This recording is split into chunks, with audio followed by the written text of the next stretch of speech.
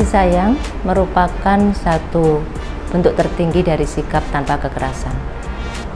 Melalui pendidikan formal dan non-formal, kita implementasikan Merdeka Belajar yang bebas dari kekerasan. Kita dukung anak-anak kita untuk menciptakan sejarah pendidikan. Tumbuh kembang anak yang bebas, cerdas, ceria, dan berkarakter harus berjalan seiring dengan berbagai platform digitalisasi pendidikan yang berkembang cepat. Anak-anakku, kejarlah mimpimu, gapai cita-citamu, raihlah prestasimu. Sayangi dan hormati orang tua dan guru.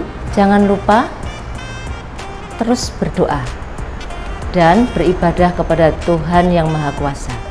Selamat Hari Anak Nasional Berani karena kita peduli, anak-anak terlindungi, Indonesia maju.